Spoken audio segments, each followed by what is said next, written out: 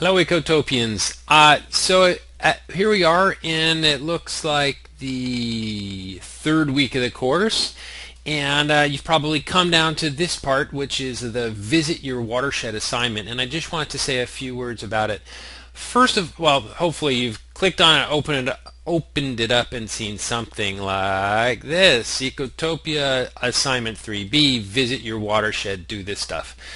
I just wanted to say before you get started on this that I'm kind of excited about this assignment because this is the first part of the course in which you are required to actually go outside and do something aside from your backyard observations or your scientific project.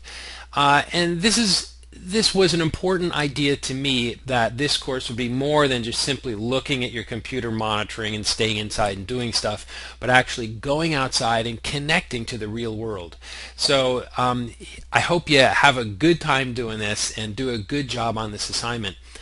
I also wanted to say that remember that you are not required to do these assignments one after another and turn them in every week. You can turn them in whenever you want. And it's an online class, so it really should fit your schedule.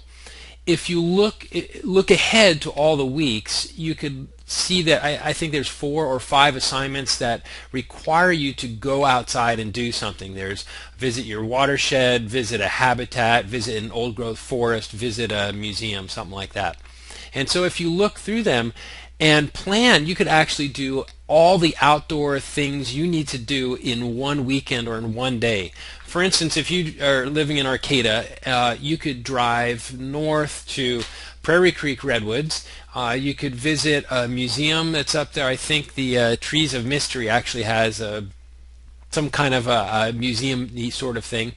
Um, you could visit uh, some habitat that's not old growth redwood and visit uh, some of the most stunning old growth redwood um, parks reserves on the planet. You could do all those at once and then come back, write up all your assignments and be done in one fell swoop. Or you can do them differently.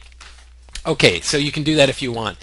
Regarding this assignment itself, I just wanted to show you how I want you to do this assignment. So read through these instructions. The goal of this assignment is for you to explore the watershed you mapped in assignment 3A and to document your exploration through text and images. So when you go out to your watershed, I want you to walk around, spend some time there, explore it, sit down and write about it. So um, then come inside and transcribe it. So when you do that, come inside, you have your notebook with you, highlight all this junk. You can actually get rid of all this stuff or leave it. I don't care. Uh, let's just say you come in here and you say this is your journal entry. So I'll give it a title, journal entry. Oh, here's your name. Okay, my name is Jack Murphy. Do exactly like this. Just type it right in here. I visited my watershed shed yesterday and had the greatest time and so on and so forth so two pages double spaced okay double space it and you can get rid of my little uh, directions there because we don't need that okay blah blah blah you type in all your text. That's part one. Part two is on the next page. Photos with caption here, at least six photos, more are welcome. Try to fit three per page. So hopefully you took some fantastic pictures and uh, you've downloaded them and they're in a nice folder someplace like mine are and uh, you want to put them in. So here's a photo I wanted to put in just like that. It's an elk. I went to Prairie Creek Redwoods last week at Gold, uh, Gold, I think it's called Gold Bluff Beach. And then I put in a caption, here is an elk that I walked by to get to the beach. That was dangerous.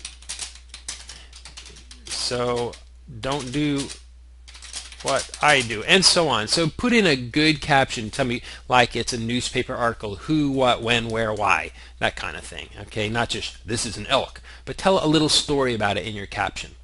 Okay, remember you can size your pictures to fit them, and so if they come in ridiculously huge, you can size them smaller. Hopefully you're able to do that. Um, and I said three per page, and so then you have two pages of text and maybe two pages of uh, six photographs with captions, get them in there and submit them. Okay.